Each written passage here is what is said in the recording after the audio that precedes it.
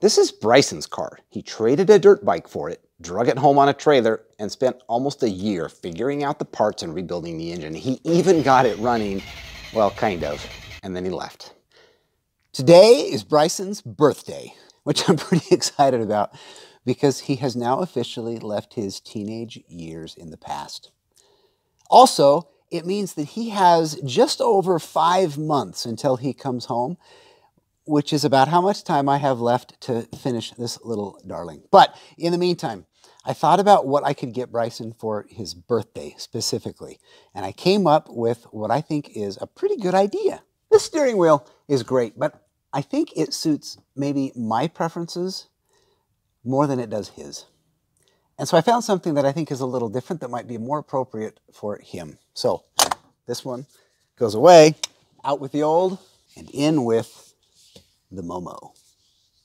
Now the cool thing is I got another hub for it, so you can quickly swap them out if you decide you like the other one a little better. This one, interestingly, has, I believe, the same diameter. I think they're both 350 millimeter, but feels a little bit bigger in diameter. I'm not sure why. I do know that the, that the dish is just ever so slightly more because I can't reach the blinker quite as easily when my hands are on the steering wheel as I can on the other one.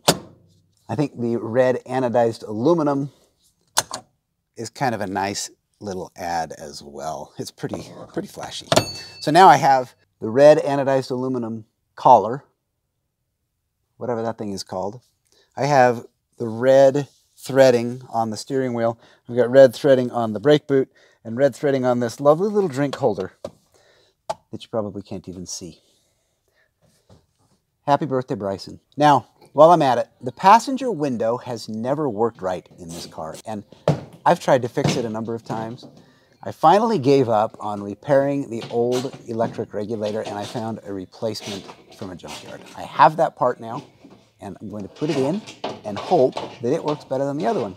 Actually, I'm not going to just hope. I'm going to bench test it. And then assuming it passes the bench test, then we'll install it. I've messed with this regulator quite a bit. You can see I swapped out the sheathing where the beads travel as the window comes down, thinking that maybe it was gummed up and preventing easy movement. That didn't make much difference, if at all. You can also see though that I've messed around in here. These beads basically act like a bit of a chain. And this is the sprocket. So the motor is attached to the sprocket. It turns the beads. It's got a little bit of a spring action in here so that if it tries to go too far in either direction, it can compress the spring. Well, this one had some beads break. And so I made an attempt at keeping tension on the beads and it kind of worked a little bit for a little while, but I got tired of messing with it, so the idea is to replace it. So if we send 12 volts here, it goes that direction. You can hear the some of the clicking that happens when it when it can't continue its travel for whatever reason. And there's what happens when the beads break. You end up with this gap in here where the sprocket basically is spinning on the chain, so to speak, because there are no chain teeth in the sprocket anymore. And yes, I have tried several different types of ways to, to fill the bead. I even put some, some fishing sinkers on it at one point. And that kind of worked for a little while too, but nothing has really held up very well. Frankly, it's just not a very good design. Now you can see as it... You just can't quite... And there's not even a window on it right now. Oh, there is a is stuck here. I went too far and sent it up out of the track. Well, it really doesn't matter because this isn't going back on there. That thing sounds so much cleaner. I'm optimistic. Let's run it the other way. Back down again. All right, so we'll put this at about the halfway point. Put it together.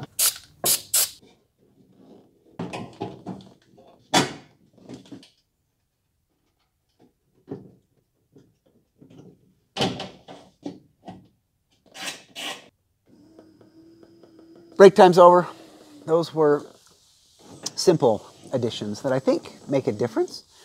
But uh, the big job is really in front of me still, and that is the painting. And so I think what I'm going to do is spend a little bit of time feeling out what the project will look like, especially since I'm not quite ready to tackle it full on yet. I need the temperatures outside to come up a little higher so that I can keep temperatures in the shop at about that 70 to 75 degree Fahrenheit mark, even with air flowing from the outside through the building. So I really need the exterior to be 70-ish degrees before I can tackle that project. And I don't want to have parts lying all over, waiting for the temperatures to come up. I would also kind of like to have the car be drivable.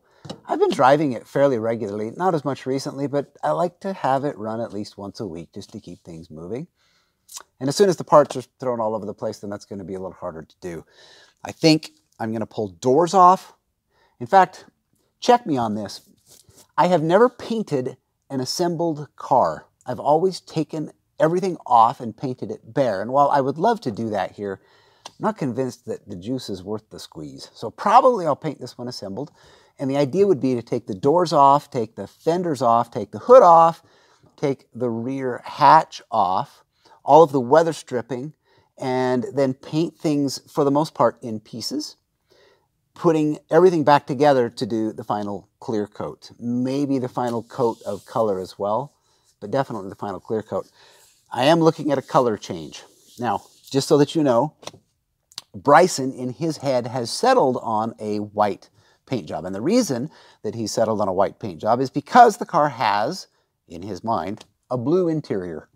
Now, what he really wants is a red paint job, but he can't quite get past the idea of red paint with a blue interior. So his thinking is that he'll paint it white and then at some day in the future when he gets a chance to change the interior to black, which we all know would probably be never, then he would consider maybe a red wrap or redoing the paint in red or something like that. So the interior is already black.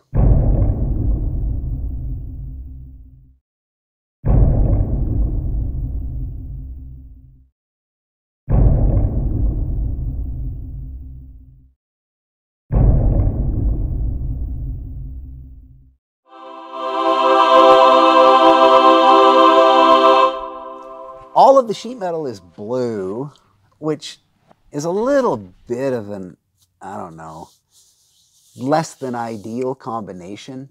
I'm not going to be able to paint the engine bay because I'm not interested in stripping all the engine out.